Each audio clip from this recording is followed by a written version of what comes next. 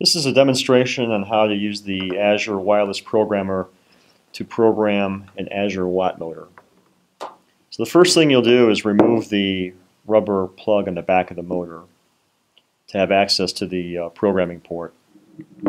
Next, we'll take the programming module and you'll need the 4-pin plug. It goes into the receptacle in the back of the motor. You want to be very careful to get this in the pin, into the uh, socket. Okay, next we will apply 115 volts.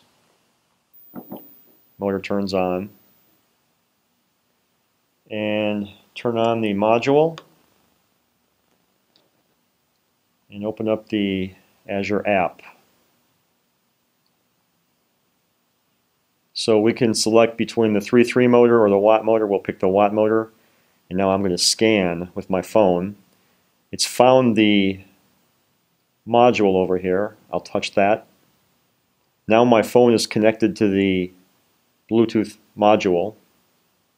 Now I need to connect the module to the motor by touching connect the motor. Motor is connected, the motor stopped. So we can read the parameters. And the phone says that the motor is set for 600 RPM counterclockwise rotation.